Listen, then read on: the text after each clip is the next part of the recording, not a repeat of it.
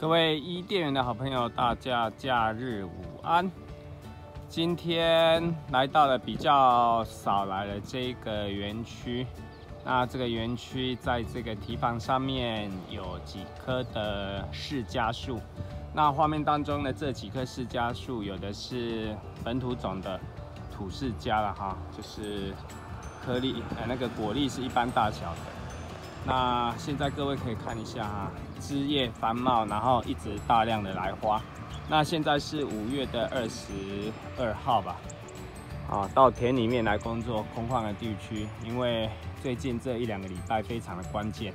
啊，所以大概就是不要移动，就只能就是到家里的田地里面来，就是整理这一些平常比较少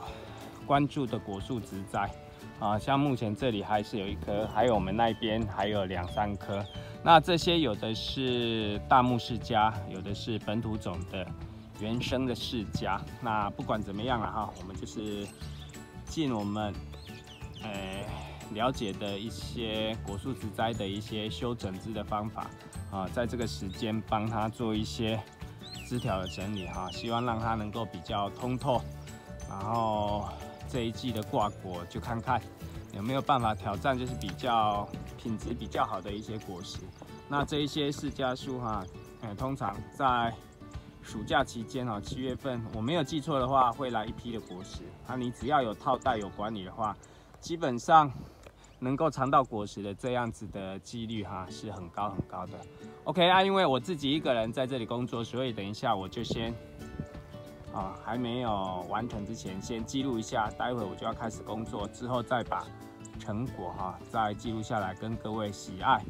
果树植栽、喜爱世家的好朋友做交流、做分享。OK，那我要开始工作喽。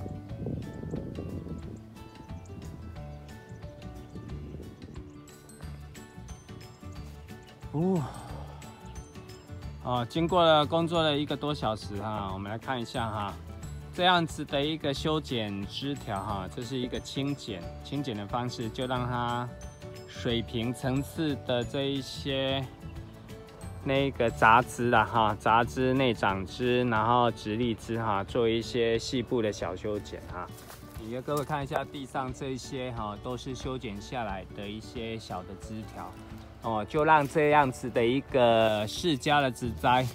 那个空气的流动哈，流通都可以是穿透的。那目前已经是有来花很多的果实挂在上面，啊，像这样的果实挂在上面。你像这样子直立的某一些枝条哈，我们可能就只有在上面哈，比如说这个地方，啊，就将它，哎，枝条的末端哈，就是类似摘心了哈，就是去顶之后，但是那一个叶子要留下来，因为它。必须要适度的遮阳啊。那目前你看，像在这里面这样的一个释迦的果实啊，这些都没有经过人工授粉，纯粹都是自然授粉下的。所以释迦的那一种林木啊，它授粉的完整性当然比不上台东专业种植农户哈，他们使用人工授粉的方式来的完整漂亮啊。但是基本上挂果是是 OK 的哦，挂果是 OK 的。好，那你现在看一下哈，地上都是一些细部修下来的一些小枝条。那待会这一边的小枝条，我们的原主妈妈哈，她会除草的时候，她就会把它集中处理哈，集中处理。那我今天大概就是负责负责来做一些小修剪哈，像这样子的一个果实啊，像很明显就看这样的授粉啊不均匀，所以它的果实有个地方就是凹进去的。凹进去的地方就没有种子，那没有种子就没有食用的那个包覆种子外面那个假种皮。好，这就是释迦，我们提防上的释迦。那期待下个礼拜二、三、四可能有会有封面来哈，梅雨的封面看能够带来多少的雨量。那就利用今天假日的时间哈，跟原主妈妈啊，跟我们的原主妈妈在。这个园区提防上来，呃，整理一下哈，整理一下这样的提防上的世家哈，土生的世家跟我们特别种下的大木世家的十生苗。那像这两棵当初种就是种的太密集，那种的话不是我们这，不是我们种的，是上一任的上一任的原主他们种的。那目前这块田地哈，就是变成是我们来接手做耕作了哈，所以就是带一些啊基本业余的管理的作为啊，喜欢观察果树，喜欢哎，就好像在把它管理那一种。花卉的方式哈去处理啊，像这样子的一个枝条剪掉。好，那我一、二，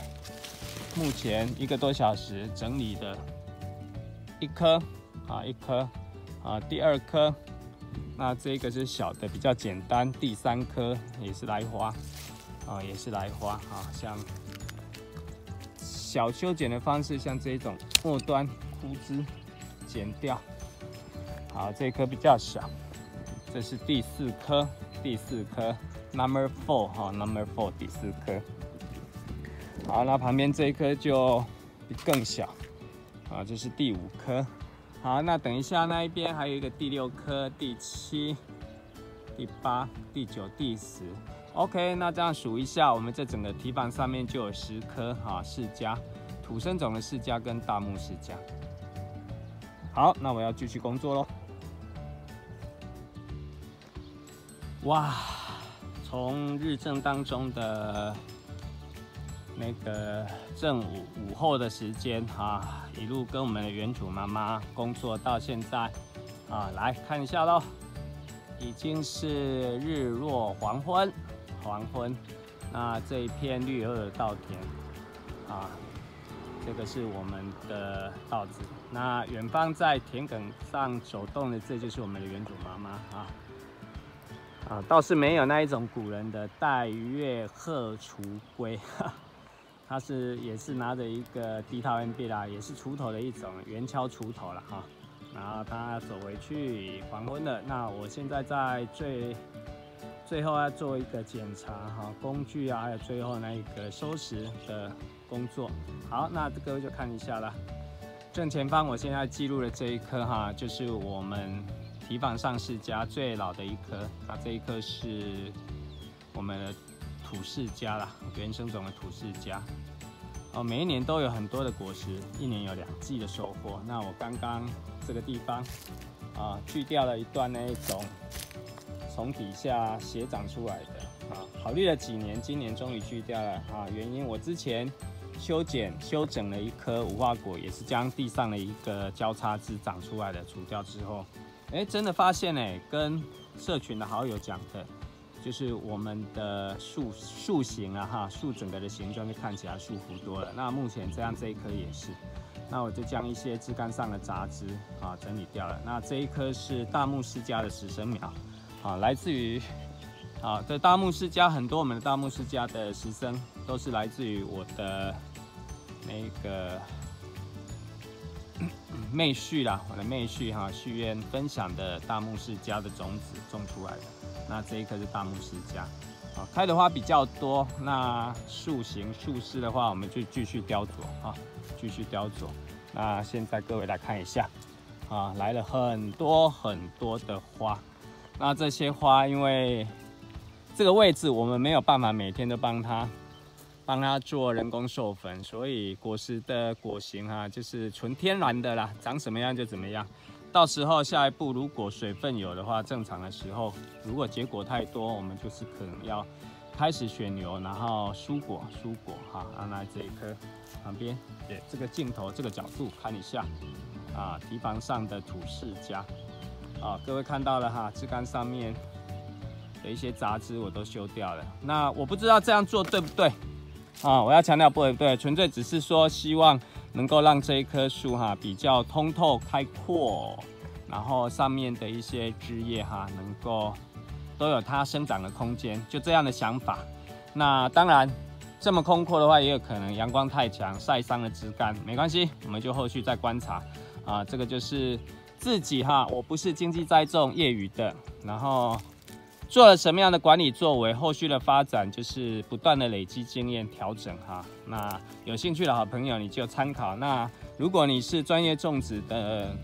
国友哈，也可以提供给我们一些建议啊，或是指导我们看怎么样做是比较好。好，这个就是今天下午跟我的原主妈妈在我们地里面啊农地里面哈堤防上工作一整个下午。好，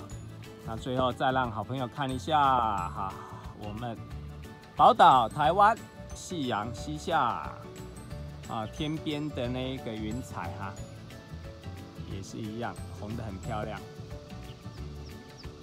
好，那就在这样子的黄昏夕阳下，跟各位喜爱果树植栽的好朋友，我们伊甸园的好朋友说再见了。我们下次再见，拜拜。